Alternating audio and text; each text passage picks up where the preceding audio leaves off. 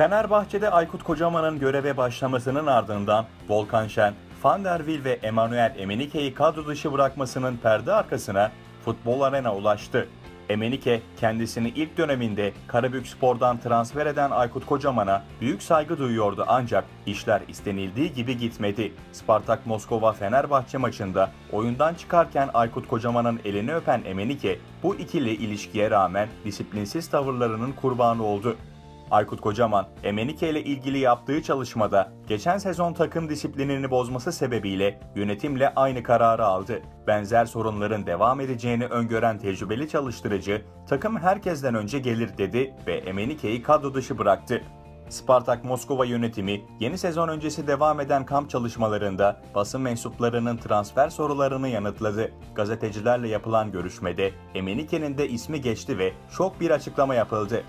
Futbol Arena'nın derlediği habere göre Spartak Moskova yönetiminden yapılan açıklamada Emenike eskisi gibi değil. Son dönem form durumunu takip ettik ve izledik. Eski gücünde değil. Bizim güçlü bir kadroyla Şampiyonlar Ligi'ne girmemiz gerekiyor. Bu yüzden transferden vazgeçebiliriz. Çünkü giderek tavrımız negatif yönde ilerliyor ifadelerine yer verildi.